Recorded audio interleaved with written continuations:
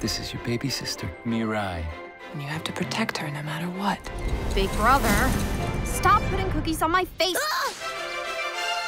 Let's go home. Ever since the day you showed up on the doorstep, they've stopped paying attention to me. He says he doesn't like the cheap dog food you get. These little things all come together to make up who we are today.